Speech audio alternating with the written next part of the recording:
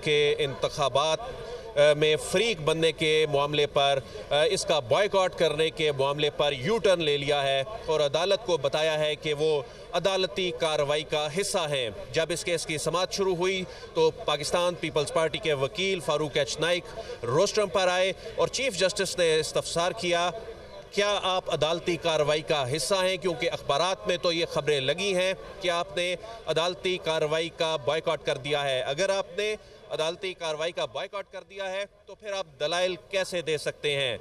Justice Munib Akhtar ने भी यही रिमार्क्स दिए और उन्होंने कहा कि गुजशत अड़तालीस घंटों से जो खबरें चल रही हैं तो जब एक जानब आप अदालती कार्रवाई का बाइकआउट का ऐलान करते हैं, ये एलामिया शाया अखबार में हुआ है, मीडिया में शाया हुआ है और उसके बाद आप कैसे दलाइल दे सकते हैं?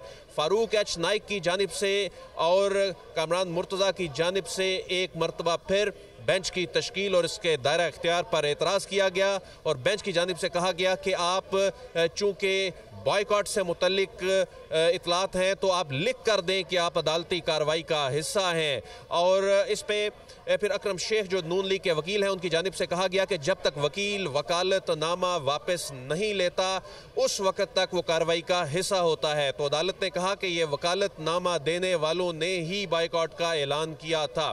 तो जिस पर अक्रम शेख ने कहा कि अब चूँकि वकला वापस आ चुके हैं तो ये इसी बात की रजामंदी है कि वो अदालती कार्रवाई का हिस्सा हैं। फिर उसके बाद अटर्नी जनरल आए। अटर्नी जनरल ने इससे पहले एक कंसाइज स्टेटमेंट अदालत में जमा करा दी थी और उसमें उन्होंने बेंच पर एतराज़ कर दिया था कि चीफ जस्टिस ऑफ़ पाकिस्तान की सरबराही में तीन रुकनी बेंच इस केस को ना सुने। और उसमें उन्होंने कहा था क्योंकि यकम मार्च का जो फैसला है, वो चार तीन की अक्सरियत से आया था। तो इस वजह से अब इसके बाद की ये जो प्रोसीडिंग है, इसको ना सुना जाए और उसकी वजह है कि यकम मार्च के जो फैसले में चीफ जस्टिस ऑफ़ पाकिस्तान और जस्टिस मुनीब अख्तर इस केस में जो अपना माइंड जो है वो सामने ले आ चुके हैं। इससे पहले जस्टिस एजाजुल एहसन पर भी एतराज़ किया गया था। तो ये तीनों जज साहिबान इस केस को ना सुने।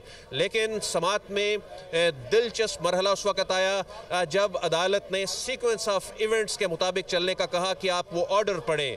और जो ऑर्डर तेईस मार्च का था और सत्ताईस तेईस फरवरी का था और सत्ताईस फरवरी को मंजर आम पे आया था और कहा गया कि इसका ऑपरेशनल पैराग्राफ पढ़ें। अटर्नी जनरल ने जब ऑपरेशनल पैराग्राफ पढ़ा और उसमें यह लिखा था कि जो जो नौ रुकनी बेंच है, नौ रुकनी बेंच ने जो कि चाय के वक्फे के दौरान जो टी रूम में जो जो गुफ्तु हुई और उसके बाद कुछ जज साहिबान की कुछ ऑब्जर्वेशन थी और उसमें फिर ये कहा गया कि तमाम जज साहिबान ने चीफ जस्टिस ऑफ़ पाकिस्तान को ये इख्तियार दिया था कि वो नया बेंच तश्कील दें। तो इसलिए चीफ जस्टिस ऑफ़ पाकिस्तान ने कहा कि जो आप हुक्मनामा पढ़ रहे हैं, नौ जज साहिबान ने ये इख्तियार मुझे दे दिया था।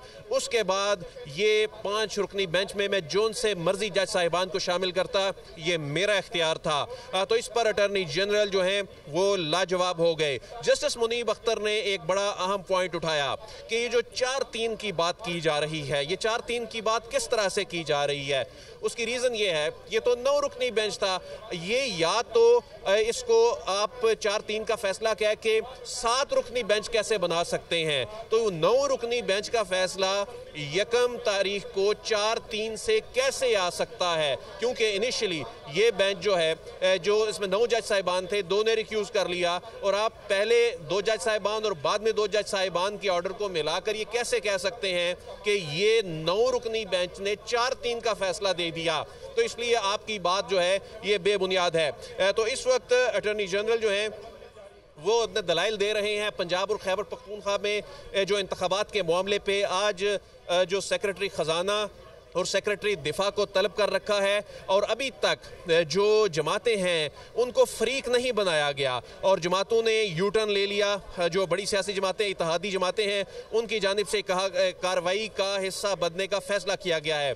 जो गुजशत रोज़ भी तहरीरी हुक्मनामा गुजशत समात का जारी किया गया था, उसमें ऐसी कोई बात नहीं लिखी थी ना फ्रीकैन की फहरिस्त में इन इतिहादी जमातों का नाम था। तो इस हवाले से यही उस हुक्मनामे में कहा गया था कि सेक्रेटरी ख़जाना और सेक्रेटरी दिफा को तलब किया जाता है क्योंकि अटॉर्नी जनरल ने आज तक का वक्त मांगा था।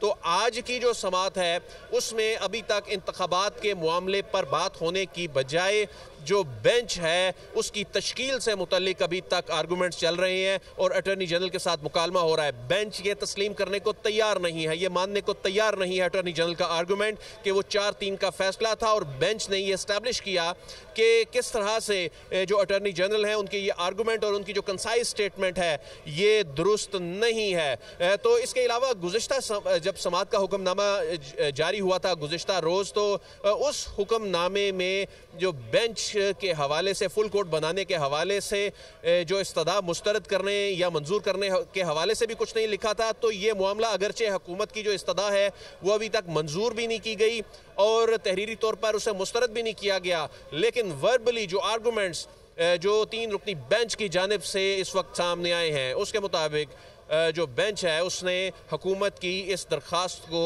एंटरटेन नहीं किया कि नया बेंच बनाया जाए और वो पावर जो कि यकम जब जब सताईस तारीख को तेईस मार्च वाला फैसला मंजर आम पे आया था जो नौ जज साहिबान का फैसला था उसमें ये power chief justice of Pakistan को चूँकि दे दी गई थी और अदालत कह रही है ये हमारा इख्तियार था कि इसमें कितने जज साहिबान को शामिल किया जाए यानी अदील जो भी चल रहे हैं और जो आप बता रहे हैं इससे लगता है यही है कि आगे जो समात चल रही है अभी, तीन रुकनी बेंच, ये इसके मुकदमे को आगे लेके चलेगा।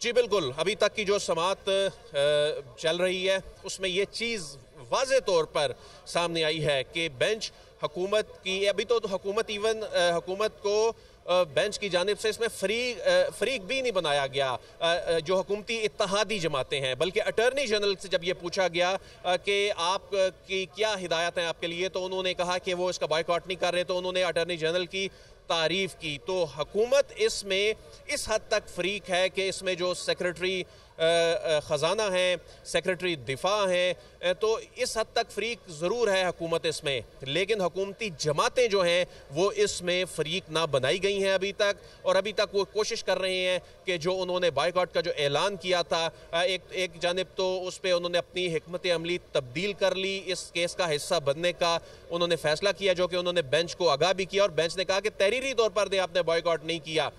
तो ऐसे में ये तीन रुकनी बेंच ही इस केस को आगे लेके चल रहा है और अब जब सेक्रेटरी दिफा सेक्रेटरी खजाना रोस्ट्रम पर आएँगे तो उन्होंने ये बताना है कि इस अच्छा अदील जो जिस यूटन की आप बात कर रहे हमने भी देखा कि प्रेस कॉन्फ्रेंस भी की गई और मुताद जो हुकूमती वजरा है उनकी जानब से बयान भी दिए गए। बाकायदा तौर पर कहा गया कि हम बाइकआउट करेंगे। तो जब अदालत ने कहा कि अगर बाइकआउट नहीं करना तो लिख के दें तो इसके जवाब में अटॉर्नी जनरल की जानब से क्या कहा गया फिर?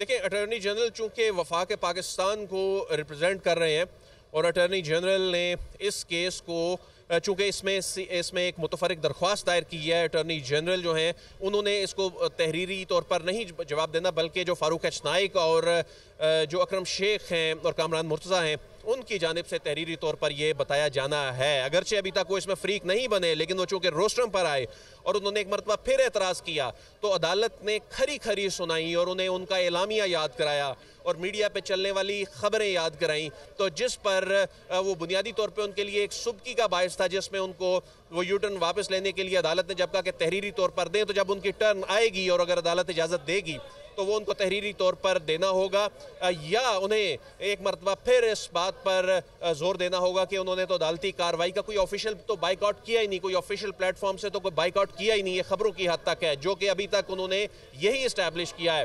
तो ऐसे में अब जो अटर्नी जनरल हैं, उनकी जो सीएमए उनकी जानब से फ़ाइल की गई थी और कहा गया था कि ये जो बेंच पे इतराज़ किया गया था कि ये बेंच ना सुने, अदालत इससे मुतमिन होती नज़र